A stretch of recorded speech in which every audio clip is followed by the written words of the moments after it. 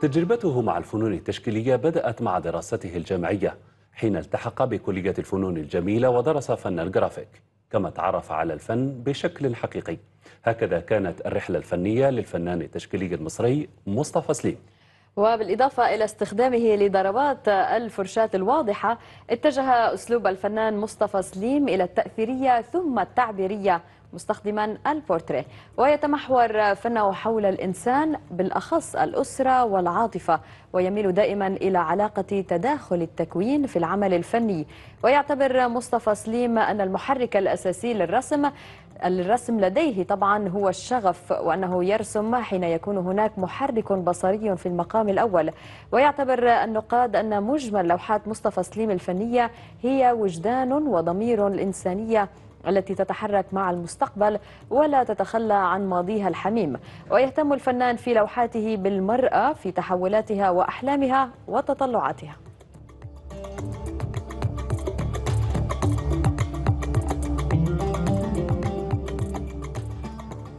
طبعا أقام الفنان مصطفى سليم العديد من المعارض داخل وخارج مصر ونرتقي به اليوم للتعريف أكثر بأعماله ورؤيته الفنية. أستاذ مصطفى سليم مرحبا بك. شكرا لك على تلبية دعوة برنامج ضفاف. من أول وهلة من يشاهد لوحاتك يلاحظ هذه الوجوه المتعددة الأبعاد؟ كيف جاءتك فكرة هذا التفرد إن صح التعبير؟ ومن أين استلهمت كل هذا؟ هو دراسة أهلا أهلا بكم يعني أول حاجة. دراسة البورتريه يعني عنصر مهم جدا من عناصر الدراسة في كلية الفنون الجميلة أنا كان بالنسبة لي في البورتريه كان ملهم جدا من أول مرة درست فيها في الكلية. ومتعود دايما إن أنا أرسم. سوري متعود أنا دايما إن أنا أرسم بورتريه طول ما أنا موجود في في القطر في الأتوبيس في عند الدكتور في أي مكان. من من حيث الدراسة من ناحية. ومن ناحية تاني برضو وجوه الناس في الشارع ووجود وجوه الناس حوالينا دايما ملهمة وتعبير الوجه بيبقى أكثر صدقا وأكثر وضوحا من تعبير الجسد. أنا طبعا عملت بعض برضه تعبيرية للجسد وأجساد يعني آدمية مختلطة بأجساد حيوانات لكن دايما البورتريه أكثر معبر. حتى تلاقي دايما كمان إن أشهر أعمال فنية في التاريخ زي الموناليزا زي نفرتيتي زي التمثال بتاع توت عنخ آمون. فدايما البورتريه أكثر معبر يعني في في التاريخ عموما يعني. ماذا أخذت من الفنانين سمير فؤاد فرانتسكو جويا وبيكاسو الذين أثروا فيك؟ بالتأكيد. يعني طبعا في في التاريخ العالمي جويا وفرانسيس بيكون كمان وبيكاسو من من الفنانين العالميين. الواحد ما عاصرهمش لكن بيعاصرهم في الكتابات في الفيديوهات اللي موجودة عنهم في في لوحاتهم من ناحية الدراسة ومن ناحية المعايشة. لكن المعايشة كانت طبعا الحقيقية والدقيقه والقريبة جدا. كانت مع أستاذنا طبعا سمير فؤاد فنان مصري كبير ومعطاء جدا. يعني أنا اتعلمت من الاستاذ سمير كتير جدا عن قرب. يعني ممكن تقدري تقولي كل يوم بستشيره في, في, في لوحاتي. وهو علمني حاجات كتير قوي يعني بعد دراستي في الكليه طبعا. مصطفى سليم يرسم عندما يكون لديه أو انطلاقا من محرك بصري.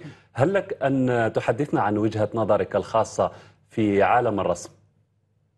بالتأكيد يعني هو الفن التشكيلي هو من اسمه هو جاي من ودلوقتي كمان كمان بيسموها فنون بصرية عشان تكون أعم.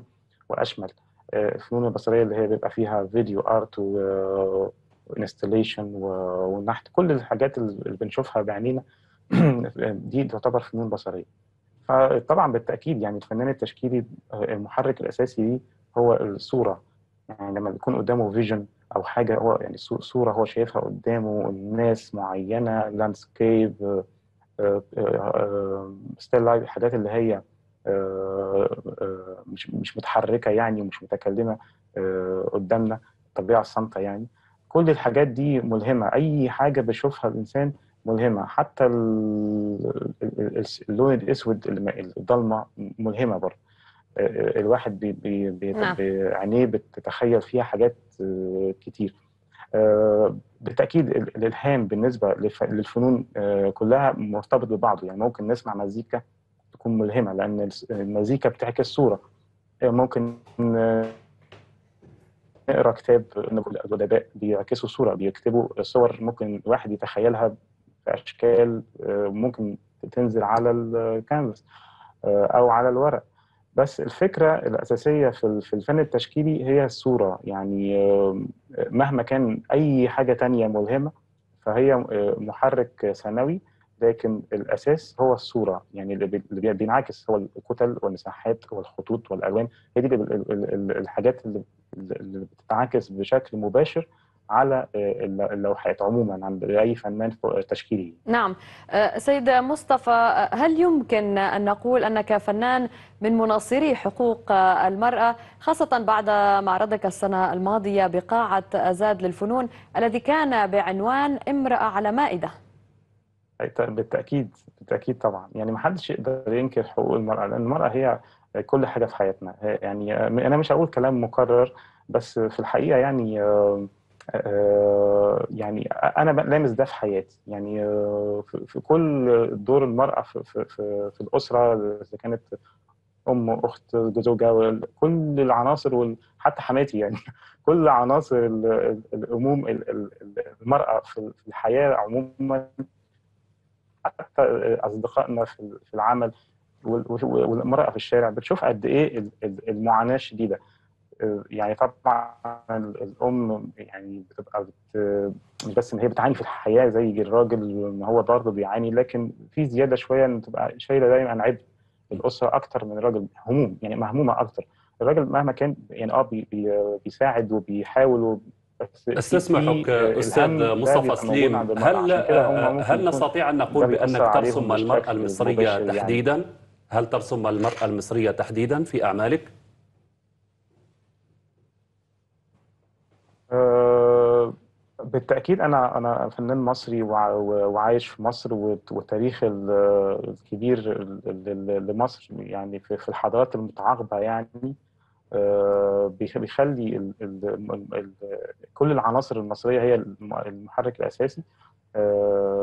لكن ده ما يمنعش إن الواحد يعني دلوقتي العولمة بتخلي الفنانين والناس تشوف كل العالم بشكل زي ما يكون بيقولوا قرية صغيرة. ففعلا إحنا ممكن يعني نتأثر بحاجة بتحصل في اليابان أو في الصين أو في أي مكان أو في أفريقيا. يعني كمان دول أفريقيا الإعلام مهمشها تماما لكن اتعرفت عليها. يعني طبعا أصدقائنا أكتر لانها ما كانش عندي فرصة إن أنا أسافر أفريقيا بس ممكن يكون عندي فرصة قريب لأن عندي معرض في كينيا قريب. لكن أفريقيا مهمشة جدا. فيها برضو معاناة كبيرة جدا وفيها تعبير قوي جدا. أفريقيا من من القارات القديمة.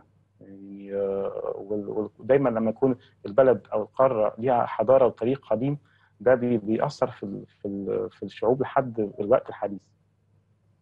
كل التوفيق لك الفنان المصري مصطفى سليم في معرضك القادم. وطبعا كاميرا ضفاف دائما ستكون موجودة وسباقة لتغطية الأحداث وخاصة الفنية. كنت معنا مباشرة من القاهرة. شكرا جزيلا لك.